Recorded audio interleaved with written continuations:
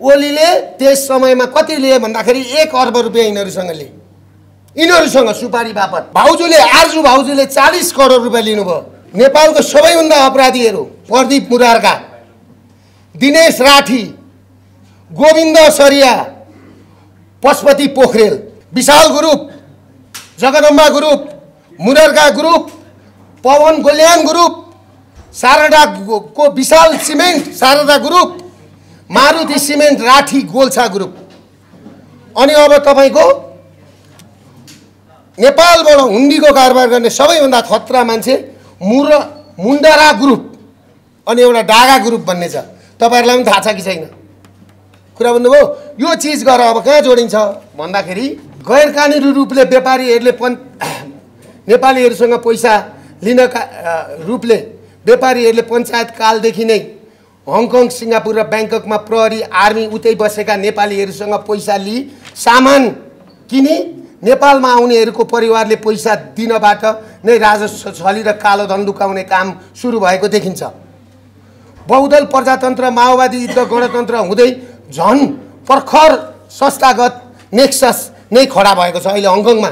यो यो म तपाईँहरूको यो छ। उन्नाइस सय एकानब्बेमा हङकङमा हङकङमा छरिएका जगन्नाथ गेवाली। नेपालमा दस बाह्र वर्ष उतै बसिस भनेर भनेको छ ग्ल्याक्सी नेटवर्क भन्छ ग्ल्याक्सी नेटवर्कको यसमा नि जगन्नाथ नेपाली पासपोर्ट नम्बर यति छ रामप्रसाद गेवाली साथै उहाँको श्रीमती पम्फा गेवाली उहाँको श्रीमती र ढुन्डीराज गेवाली। मिलेर उनीहरूले के गरेका छ भनेदेखि यो हुन्डी कारोबारको ठुलो गरेका छ र उनीहरूले के गरेका छ भन्दाखेरि यहाँ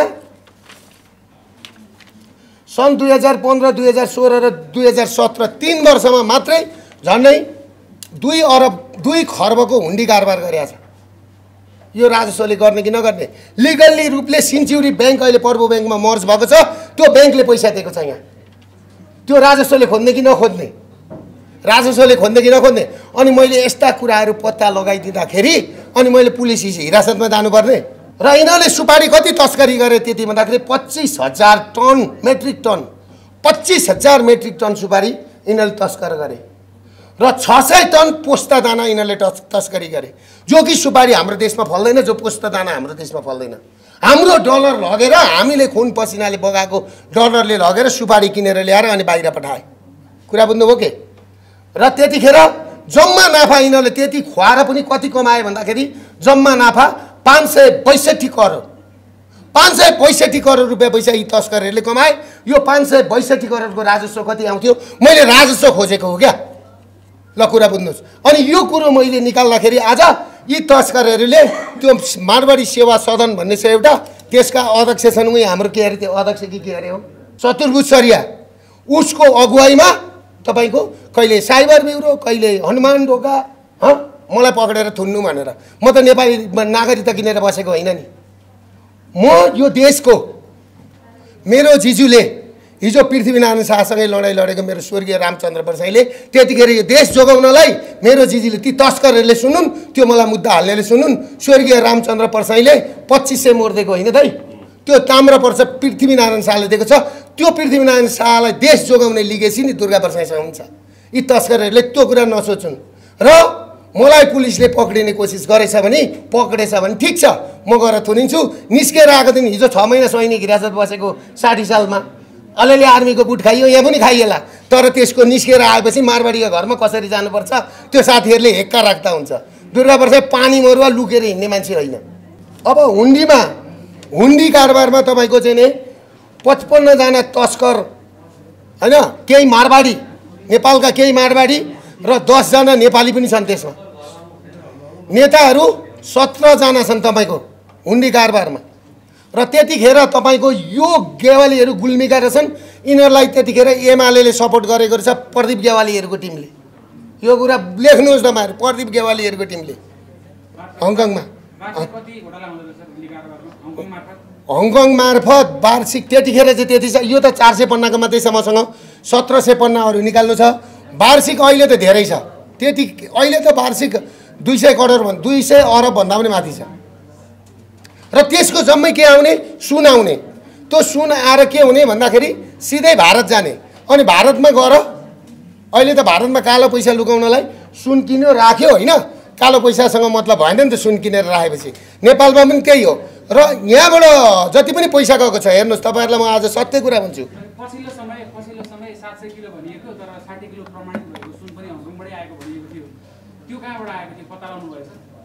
होइन सुन दुई ठाउँबाट आउँछ। एउटा हङकङबाट आउँछ एउटा दुबईबाट आउँछ यहाँ। अन्तबाट आउँदैन। होइन? सुन आउने भनेको के छ भन्दाखेरि सिआइबीको साथीहरू पनि जानुभएको थियो यहाँबाट। उहाँहरूले के खोजेर ल्याउनु भएको छ? मैले बुझे अनुसारको सुन पठाउने ग्रुपै यही ग्यावलियन कम्पनी हो उहाँबाट। र यसमा इन्ट्याक्ट दुई तिनजना उहाँ मारवाडीहरू छन्। उहाँका मारवाडीहरू हङकङमा। र उनीहरू सबै मिलेर पठाउँछन्। र त्यहाँ पैसा भेला गर्ने यहाँ नाम पठाउने यहाँ मान्छेहरूको पैसा दिने वर्करहरूको लेबरहरूको यहाँ पैसा दिने त्यो भेला भएको सुनले उहाँबाट सुन किनेर पठाउने। सुन इन्डिया जान्छ इन्डियाबाट पनि पैसा उनीहरूले उठाउँछन्। त्यो हिसाब किताबले नेपालको मात्रै राजस्व छ अहिले त। कति हो कति? त्योभन्दा बढी त इन्डिया हुन्छ नि त। इन्डिया त सुन गयो नि त सिधै। कुरा बुझ्नुभयो के? त्यो हो कुरा। र त्यसमा यसमा एउटा कुरो तपाईँहरूले चाहिँ के कुरो क्लियर राख बुझ्नुहोस् भने यहाँका उच्च पदस्थ कर्मचारीहरू उच्च पदस्थ है कर्मचारीहरू होइन? जति पनि उच्च पदस्थ कर्मचारी र नेताहरू छन् सबै भ्रष्टका नाइके हुन्। र यिनीहरूका पार्टनर हुन्। यिनीहरूका पार्टनर हुन् है? कुरा बुझ्नुभयो के? र यो पचपन्नजना व्यापारीहरू जो मैले भने नि अब हामीले नाम सार्वजनिक गर्दैछौँ र हामीले आन्दोलनको पनि तयारी गर्दैछौँ।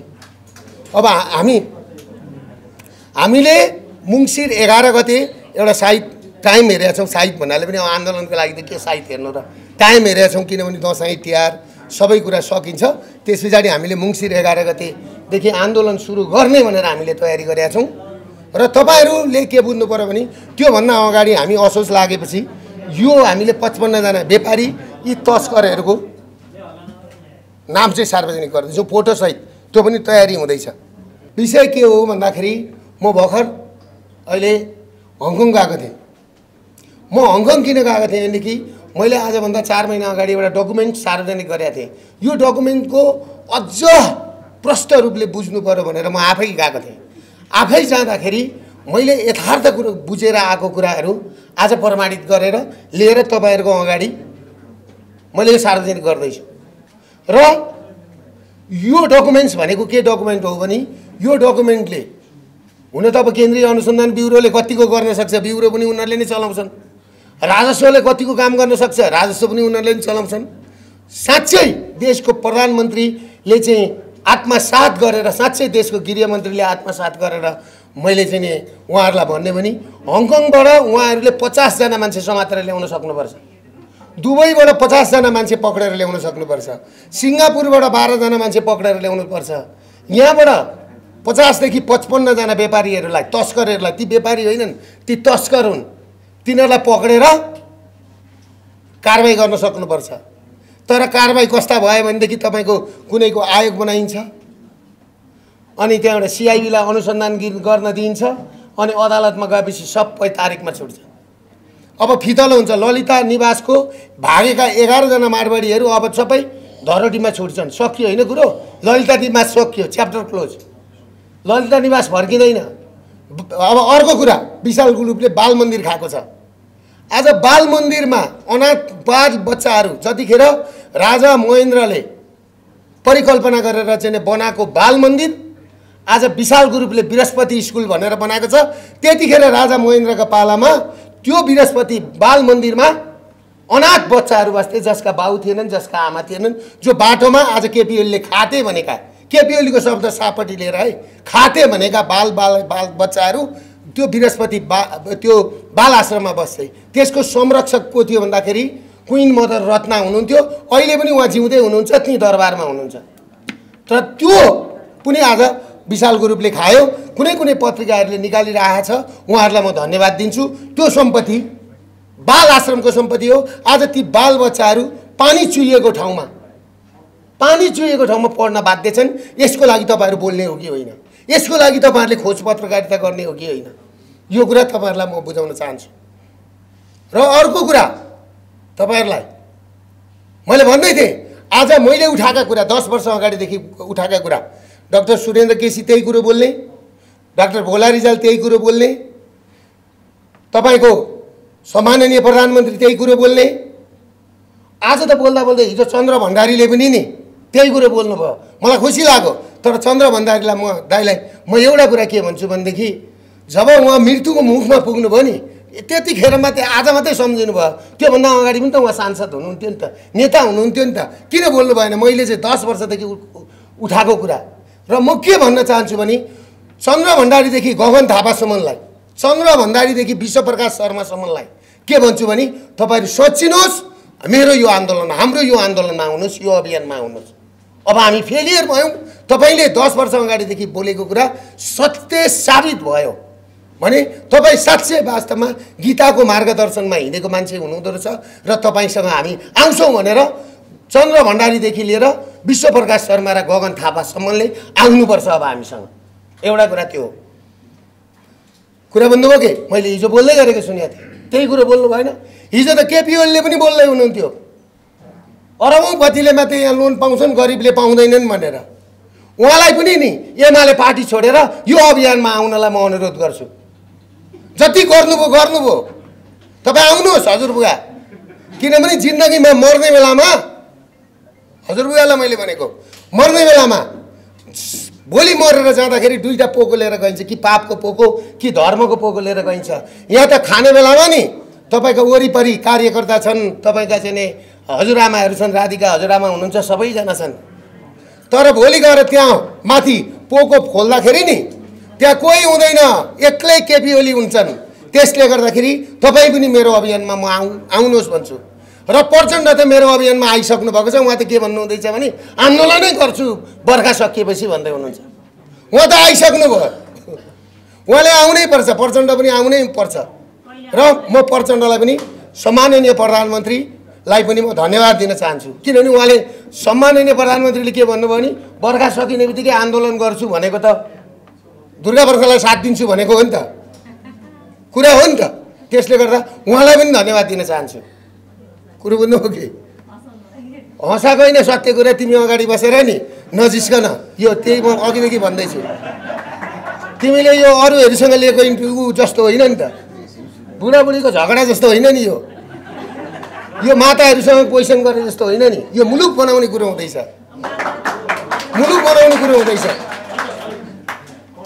त्यसले गर्दाखेरि म सम्पूर्ण राष्ट्रप्रेमी है फेरि। देशप्रेमी।